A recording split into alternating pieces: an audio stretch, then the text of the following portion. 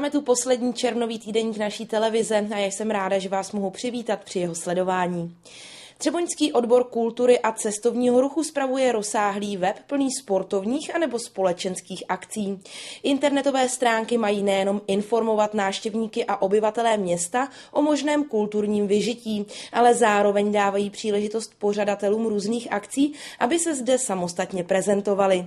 Od začátku prázdnin funguje na webu také z Brusu nová sekce, která informuje o možnostech ubytování.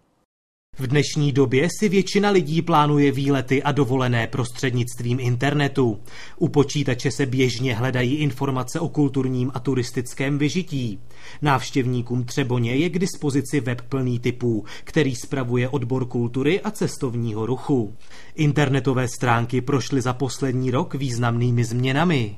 Ten web se pořád, pořád vyvíjí, pracujeme na tom, aby byl co nejvíc samoobslužný, aby tam uživatelé, jednak poskytovatel ubytování, jednak pořadatelé eh, kulturních akcí měli možnost tam ty akce přidávat sami, aby se nemuseli spoléhat jenom na ty služby pracovníků na Ičku. Internetové stránky jsou volně přístupné nejenom samotným turistům, ale také pořadatelům nejrůznějších akcí. Ti mohou sami a bez předchozí domluvy se správci webu informovat veřejnost o tom, co se na Třeboňsku bude dít jít. Když si ten uživatel klikne eh, na to, že chce přidat akci, tak mu tam vyjede vlastně nějaké rozhraní, kde jsou všechna pole povinná, aby ta akce eh, byla dostatečně prezentována, tak tam musí být čas, musí tam být nějaká anotace akce, obrázek, pořadatel, kontakty na pořadatele. Eh, potom, až tady to všechno proběhne vyplněním, tak to přijde administrátorovi, tento zkontroluje ty údaje a buď je zveřejní nebo vyzve k opravě. Kulturní akce se na webu zobrazují v kalendáři. Každý, kdo na internetové stránky zavítá, tak vidí, na co se může v Třeboni v nejbližších dnech těšit. Mimo kalendář kulturních akcí obsahuje web také fotogalerii z již uplynulých událostí a harmonogram trhů, které se od jara do zimy v Třeboni pořádají. Od letních prázdnin byla na webu spuštěna také z Brusu nová podoba modulu pro ubytovatele. Tady ten ubytovací modul je to vlastně databáze poskytovatelů ubytování eh, v Třeboni a na Třeboňsku. Eh, tady ten ubytovací modul není vlastně věc nová na tom webu, eh, ten ubytovací modul už byl. Nicméně jsme se rozhodli ten ubytovací modul trošku aktualizovat, takže eh, nabízí nové funkce, je trošku uživatelsky přívětivější. Zájemci o ubytování mohou ponovu využít fulltextové vyhledávání. Jistě ale uvítají také možnost najít ubytování podle ceny, druhu anebo vybavení zařízení. Ubytovatelé, kteří v té databázi byli již dříve zařazeni, eh, byli automaticky převedeni do té databáze eh, nové. Ta nová databáze eh, nabízí dva eh, různé druhy zápisu, zápis standard a zápis základní. Eh, ti ubytovatelé, kteří v té dřívější databázi měli dostatek, dostatek informací, byli převedeni do databáze nové do podoby standard. Ty, kteří těch informací měli méně, byli převedeni automaticky do té podoby základní. Stejně jak je tomu u kalendáře kulturních akcí, je i modul pro ubytovatele v maximální možné míře samoobslužný. Provozovatel ubytovacího zařízení, který si na stránkách zřídí profil, jej může opět sám spravovat, přidávat informace a dělat zde nejrůznější změny. Takže bych chtěl požádat všechny ubytovatele, kteří by eh, tady v té naší databáze chtěli být zařazeni, aby té nové funkce eh, využili, přidali se tam, případně, když ty databázy už jsou a nevyhovuje jim ta stávající forma zápisu, aby svoje údaje eh, aktualizovali a tím pádem budou, budou mít lepší místo, budou v zápisu standard. Mimo nově spuštěný ubytovací modul hodlá odbor kultury a cestovního ruchu vylepšovat své stránky i nadále. Do budoucna je v plánu rozšířit web ještě o databázi gastronomických zařízení anebo o plánovač cyklistických výletů. Střeboně Ondřej Alexandr Kronika. Středa 25. a čtvrtek 26. června se v Třeboni žilo golfem.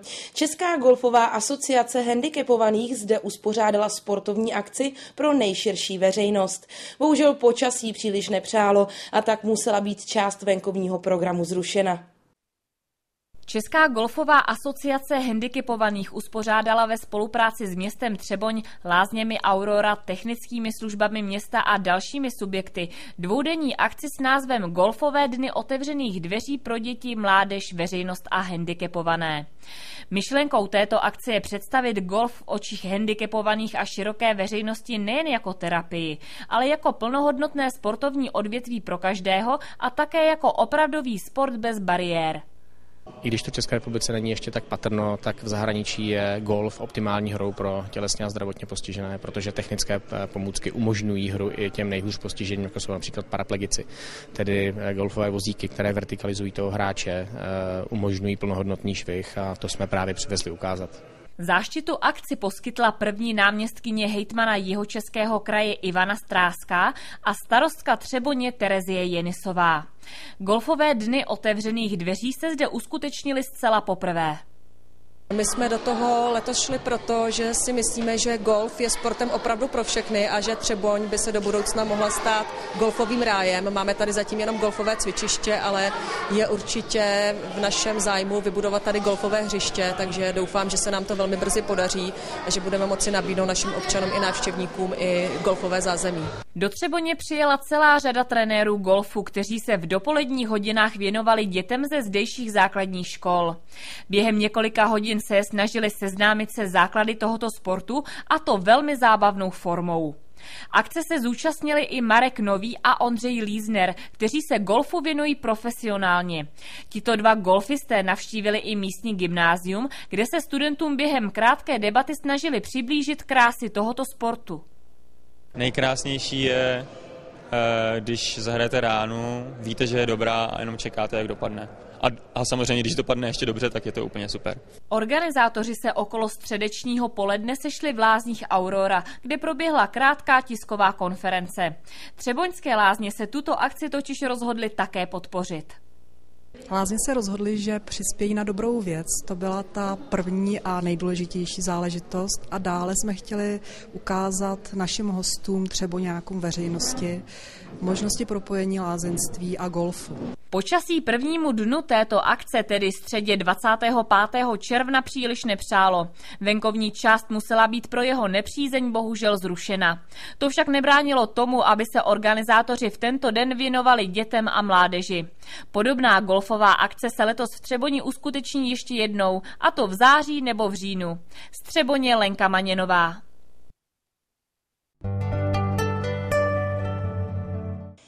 Kromě klientů lázní a široké veřejnosti naštěvují bazénový komplex v lázních Aurora také školní výpravy, zájezdy a podobně. Místní slaná voda a bezbariérový přístup jsou velmi vhodné i pro handicapované a tak bazén pravidelně naštěvují i klienti sociálního zařízení Diakonie Rolnička. Diakonie Rolnička je sociální zařízení, které funguje už 20 let v sobě slavy a zaměřuje se na osoby s mentálním či kombinovaným postižením. Své služby nabízí jak dětem, tak i dospělým. Podpora spočívá v tom, že rolničkové děti zde mohou naštěvovat mateřskou školu, která je kombinovaná, tedy je jak pro zdravé děti, tak i pro handicapované a tím dochází k přirozené integraci.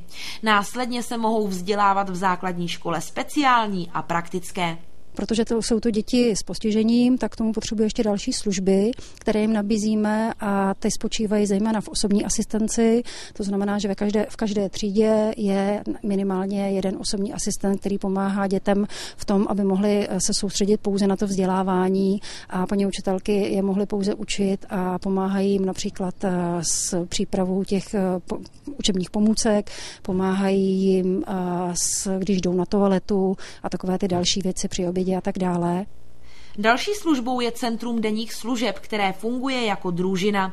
Asistenti, kteří se zde dětem věnují, s nimi ještě navíc rozvíjí schopnosti a dovednosti, které se v klasické výuce nevěnuje až taková pozornost. Služby jsou ale nabízeny i dospělým klientům. Ti mají po ukončení středního vzdělání možnost nastoupit do sociálně terapeutické dílny, kde se připravují na práci.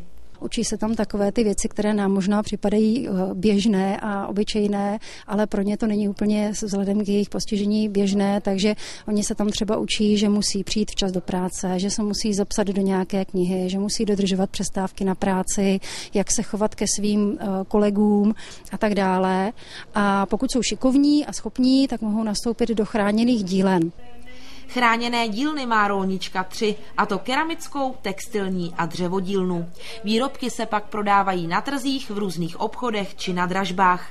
Co se týče výuky ve škole, tak její součástí, konkrétně tedy tělesné výchovy, je i plavání. Proto se přibližně jednou do měsíce jezdí buď do Jindřichohradeckého či Třeboňského bazénu. Je to z toho důvodu, že oba dva ty bazény jsou přizpůsobené tomu těm našim potřebám, to znamená, jsou bezbariérové a hlavně ta voda je tam teplá. takže je to i pro ně příjemné. A ten důvod, proč vlastně eh, jezdíme do bazénu, je ten, že mm, klienti většinou mají k tomu svému mentální postižení ještě nějaké jiné přidružené a to se často týká určitých eh, spazmů nebo, nebo takových určitých vztahů a oni se potřebují uvolnit a relaxovat.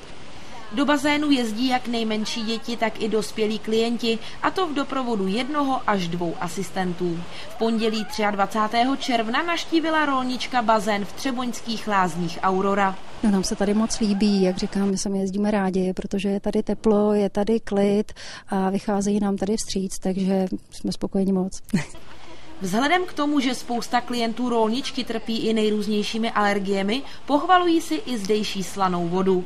Pohyb ve vodě přináší klientům nejen fyzický pohyb, ale zároveň i relaxaci. Ke každému klientovi je potřeba přistupovat individuálně. Dneska tady máme klienty z praktické školy dvouleté z tábora, Kateřinku Karlovou, Pavlu Jelínkovou, Nikolku Hofmanovou, Tomáše Boháče, každý z nich je individuální, ty, i ty hodiny v tom bazéně jsou individuální, protože někdo, někdo plave, setkal se, chodil eh, v předchozí škole do bazénu, takže to někdo umí, někdo ne, jako Pavlínka třeba, ta se fakt nesetkala s bazénem ve školce, takže ta se učí dechat do vody, začíná, zvyká si na tu vodu, netlačíme ji k ničemu, nenutíme ji. Eh, v ostatní, ty, co zvládají a mají vodu rádi, tak si to tady jako fakt spíš užívají, jak se nedostanou tak často do toho bazénu. Takže zkoušejí všechny atrakce, zkoušíme uvolňovací cvičení, a nevím, polohovací, a víceméně jaková relaxace pro ně a je to změna, že jo, dostanou se mezi lidi, takže, takže myslím, že si to užívají všichni. Tak jak se vám líbí bazén? Dobře. Co se ti nejvíc líbí? To plavání. Mně je tobogan a plavání. Co by se ti tady tak líbilo? Plavání, tobogan? Všechno. Všechno. A tobě? Všechno. Asi tobogán nejvíc to jmenuje. Tobogán. Pro klienty je důležitá také socializace, tedy to, že se dostanou do jiného prostředí, než ve kterém se pohybují běžně. Musí se zde totiž určitým způsobem chovat, musí si umět připravit všechny věci a dělat mnoho dalšího, co je pro nás naprosto automatické, ale pro ně je to událost, kterou si dlouho pamatují. Střeboně Hanka Voborská. To, že se v lázních Aurora nachází panoramatický výtah, ví skoro každý. Málo kdo už ale ví to, že může náštěvníky Třeboně vyvést na nejvyšší veřejně přístupný bod v tomto městě. Odtud je krásná vyhlídka na široké okolí. Lázně Aurora se mohou pochlubit krásným panoramatickým výtahem. Ten zde funguje po celý rok bez jakéhokoliv omezení, avšak ne všichni návštěvníci Třeboně se jim mohou svést v jakoukoliv denní hodinu. Máme omezení vlastně pro docházející eh, hosty lázeňský, kteří nejsou klienti, takže ty to mají od des, do 10 hodin večer a klienti lázní mají čipy, kde si čipem vlastně uvolní ten výtah a můžou jet i po, té, po desáté hodině. Výtah je nezbytnou součástí budovy a to i z toho důvodu, že by v případě nouze sloužil jako evakuační prostředek především pro imobilní osoby. To je evakuační výtah ve chvíli, kdyby se vlastně něco stalo v téhle té budově, tak eh, větší část nebo ty nemohoucí lidi by jsme museli evakuovat tady tím výtahem. Takže hlavně kvůli tomu. Jo, takže vozíčkáři, lidi, kteří jsou špatně pohybliví, takže by šli tady tím výtahem. Lázeňský panoramatický výtah je i oblíbenou turistickou atrakcí, jelikož může příchozí vyvést na nejvyšší volně přístupný bod v celé Třeboni. Výtah dopraví osoby do výšky 25,5 metru a tudíž návštěvníkům poskytuje unikátní vyhlídku na celé místní okolí. Dokonce ani Třeboňská radniční věž nenabídne nikomu tak rozmanitý a široký výhled. Ten pohled je nádherný, od tady toho je vidět na svět, je vidět na Temelín, je vidět vlastně směr na Budějovice, na, na druhou stranu Jindřichův Hradec, Nová Bystřice a za lesem vlastně je Rožumberg. Takže ten výhled je tady odsaď opravdu nádherný. Je to pěkný, no. Líbí, jo. Já už jsem tu byla, takže líbí. Krásný, je to pěkný pohled. takže nelitujete, že jste vyjeli výtahem? No v žádném případě my Třeboň úplně milujeme. Za příznivého počasí je také možné dohlédnout až na nové hrady, dobrou vodu nebo kleť. Celý výtah je prosklený a tak mohou jeho uživatelé pořizovat krásné fotografie či videonahrávky na přilehlé okolí přímo z jeho kabiny. Střeboně Lenka Maněnová. I tento týden pro vás máme zajímavou kulturní pozvánku. Ve dnech 7. až 12. července bude v Třeboni opět probíhat letní festival klasické hudby. Eh, jedenáctý ročník Mezinárodního hudebního festivalu Třeboňská nokturna, který se odehraje v Třeboni mezi 7. a 12. červencem. A v Třeboni přivítáme neuvěřitelné umělce. Eh, Monika Knoblochová, báječná čembaliska eh, s paní Klárou Novak, Eh, ve středu v eh, divadle eh, přivítáme pana Špačka a pana Sekeru. Ve čtvrtek pak vítěze Pražského jara, mladé umělce, pana Poláka Karla Mosakovského a Kateřinu Javůrkovou hornistku. A v pátek, v pátek přijde crossover a přivítáme Dašu. Daša, která přijede z Jindřichou jeho českou komorní filharmonií a e, z Moondance orchestra pod dirige, dirigováním pana Kumžáka.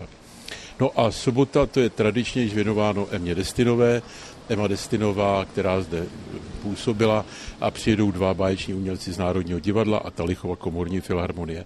Budeme se těšit na všechny občany Třeboně a samozřejmě ti, kteří do Třeboně zavítají.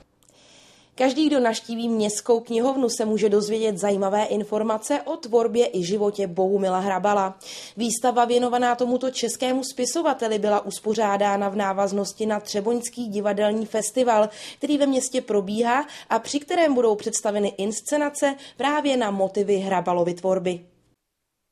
V současné době jsou prostory městské knihovny obohaceny o výstavu věnovanou osobě Bohumila Hrabala. Informační panely byly do Třeboně zapůjčeny z Písecké knihovny. Ta výstava nevznikla eh, sama o sobě. My jsme se spojili s pořadateli Třeboňského divadelního festivalu. Eh, ten festival pořádá, nebo v rámci festivalu bude 3. a 4. července na nádvoří pivovaru eh, se budou hrát postřižiny, muzikál postřižiny a tato výstava byla tak jakoby utvořena nebo vytvořena na podporu a k připomenutí výročí Hrabala. V letošním roce totiž uplynulo přesně 100 let od narození tohoto významného autora. Expoziční panely představují jednak informace o významných hrabalových dílech. Nechybí ale ani životopisná data obeznamující s důležitými životními milníky českého spisovatele anebo dobové fotografie z Hrabalova života. Postava Bohumila Hrabala je spojena s Kerskem, tak jsou tady fotografie odtud, ale i, i z Prahy a z rodiště. On se narodil v Brně. Osobnost významného prozaika a jednoho z nejvíce překládaných českých autorů je u nás známá také díky filmům natočeným podle Hrabalových knih. Právě i vybraným filmovým snímkům patří výstavní panely. Zahrnují opět základní informace o tom, kdy a za jakých okolností který film vznikl, jaké bylo herecké obsazení a opět nechybí ani fotografie. Je zde upoutávka na, na ty filmy, protože si myslím, že Hrabala proslavil Jiří Mencel eh, filmy ostře sledované vlaky, eh, obsluhoval jsem anglického krále a dalšími. Řekla bych, že mnohým ty filmy jsou bližší než, než ta knížka Hrabala. Městská knihovna expozici tematicky doplnila o Hrabalovi knihy z vlastního fondu. Ty jsou k nahlédnutí hned u vchodu do knihovny. Výstava věnovaná Bohumilu Hrabalovi zůstane v Třeboni k vidění až do 4. července. Z Třeboně Ondřej Alexandr Kronika.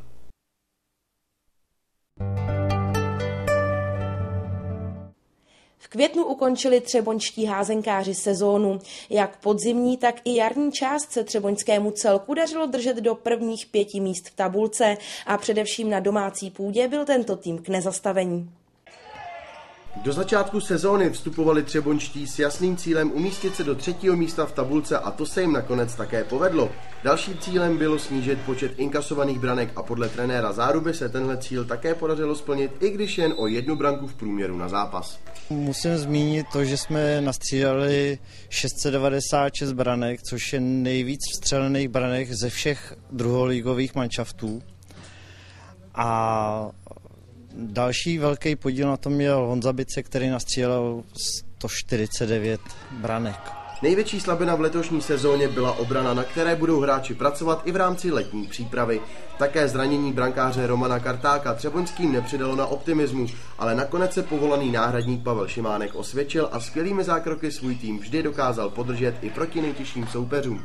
Rozhodně nás potrápil talent Plzeň B, který byl letos bezkonkurenčně nejlepší tým i když doplňovali uh, hráčema z A mužstva a s Bohemians Praha jsme prohráli oba dva zápasy, což byl jediný tým, se kterým jsme nebodovali ani jednou. Naprosto nejlepší výkony podávali hoši na domácí půdě a body Střeboně se odváželi velmi těžko. Ještě před letním přípravou si nyní hráči užijí zasloužený oddych. Letní příprava to je zatím ve fázi opravdu příprav. Sezona skončila minulý týden a ten plán je začít někdy v půlce měsíce srpna a ten plán bude ještě individuální, bude upravovaný, protože 30. srpna je turnaj o pohár pětilistý růže. Trenér Záruba i celý jeho tým mají do příští sezóny vysoké ambice. Ligu by chtěli vyhrát a utkat se o postup do ligy první. Nezbývá než držet jim palce, ať se jim tento cíl podaří splnit. Střeboně Maxim Perevoščikov. Sportovní reportáž uzavírá dnešní spravodajský týdeník. Zejména školákům přeji příjemný začátek prázdnin a někdy příště se na vás budu opět těšit.